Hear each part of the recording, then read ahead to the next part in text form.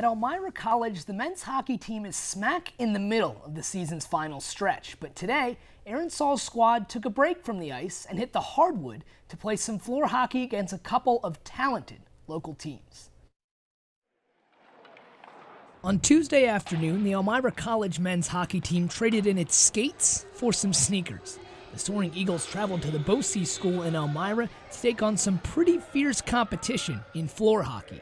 Tell you what, looking at the scoreboard here, uh, I think this is the first time we've beat, been beat this badly. Coach Aaron Saul's squad played two games against BOCES' students to help them prepare for upcoming Special Olympics competitions. First up came a matchup with the Elsmere Eagles skills team. The skills squad featured students who are still working on improving their skills to make the Special Olympic travel team. They had no trouble scoring against EC forward Brent Lafayette. Then came an even bigger challenge Game 2 and a clash with the Elsmere Eagles Special Olympics team.